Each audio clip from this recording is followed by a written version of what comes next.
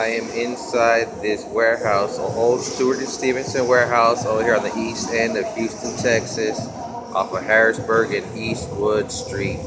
Just checking shit out. How, how's it going?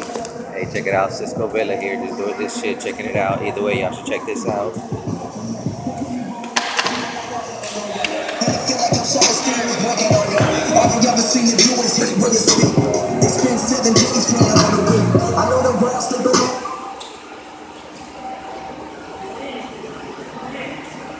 Cool shit.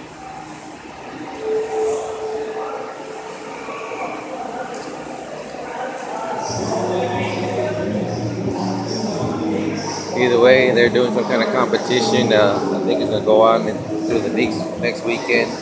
They got a Donald Trump pinata.